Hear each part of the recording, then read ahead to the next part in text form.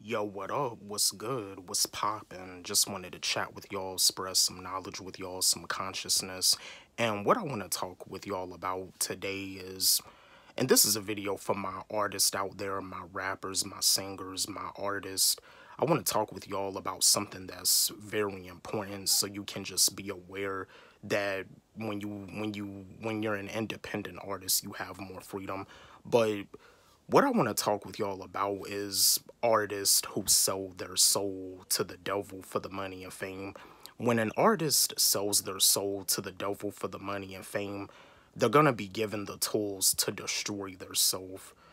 A lot of these artists, they don't have no creative control over their music. They don't have no creative freedom. They're not able to put out music whenever they want to they're depressed. They're rich, but they're but they're depressed. You go on Instagram, they they posting pictures of themselves like and, and you and you as a normal person, you thinking that their life is all fancy and glamorous. It's not you know, you, you don't really know what goes on behind the scenes of a lot of these celebrities. A lot of these celebrities be going through a lot of dark stuff that they don't even want to discuss you know, this is what happens when when you sell your soul. Selling your soul is not is not the answer. Selling your soul is not the move. As an artist, it's best to stay independent. When you're independent, you have creative control. You can put out music whenever you want to. Like you can go on your social media, Twitter, Facebook, Instagram, and say that your mixtape, your album, or your EP is dropping this date or, or that date. And you know, you know, you can make sure like you're telling them the truth that it's coming out this date or that date. You know, by you being independent, you can release it any date that you want. Me personally, I'm not down with selling my soul. I'm I'm too real. I'm too real for the industry. I'm, I'm not down with selling my soul. You know, like I want to make sure that I have my creative control, my creative freedom, that I'm able to put out music whenever I want to. I mean, if you listen to any of my songs, I'm too real. You know, the stuff that I rap about, the industry don't want to hear that. I rap about conscious stuff. You know I mean? I don't rap about popping pills, taking Percocets, sipping lean. I don't rap about none of that dumb shit you know the shit the shit that i rap about is not dumb. The shit that i rap about is consciousness. You know i want people to be the best versions of themselves especially the people that support me my fans my supporters. I want all of y'all to be the best versions of yourself. I want y'all to believe in yourselves.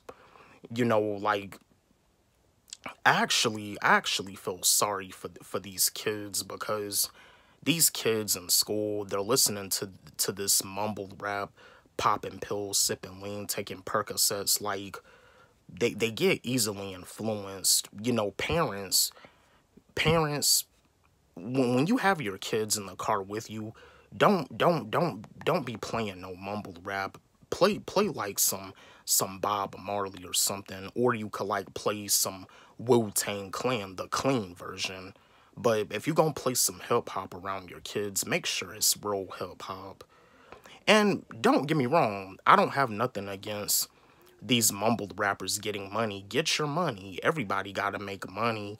Lil Yachty is rich as fuck. Lil Pump is rich as fuck. But it's just the stuff that they rap about is just horrible you know, us lyricists, we should be able to get our fair share. We should be able to be rich as fuck too, because we're the ones that care about the culture of hip hop. We we take our craft very seriously. You know, we're the ones that love what we do. We love to rap. We love to put words together. We love to rhyme. A lot of these artists in the mainstream, especially, they have ghostwriters. These rappers have ghostwriters. They just in it for the money and in it for the fame you know, they don't have a passion for what they do. I have a passion for what I do. And this is not to all of the mainstream rappers because guys like Cordae, guys like Jack Harlow, they're lyrical and I'm and I'm pretty sure Cordae and Jack Harlow have creative control and also Token and Joey Bad Joey Badass and Denzel Curry. Like I'm pretty sure they all have creative control. But yo, th- this, you know, th- that's what can happen when an artist sells their soul. You know, like they they have no creative control. They're depressed. It's like they're in a bubble. They're being controlled by the industry. They're pretty much a slave.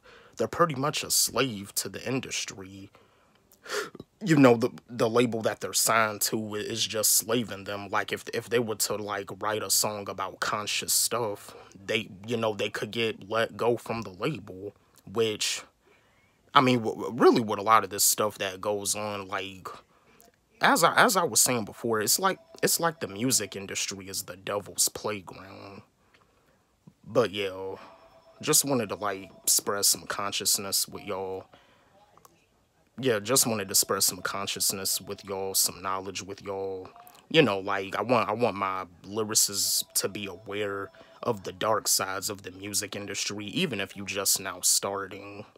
You know, I just want my people, my fans, my supporters that want to be artists to be aware of the industry that when you sell your soul, you're, you're going to be given the tools to destroy yourself. Just wanted to spread some knowledge, some consciousness.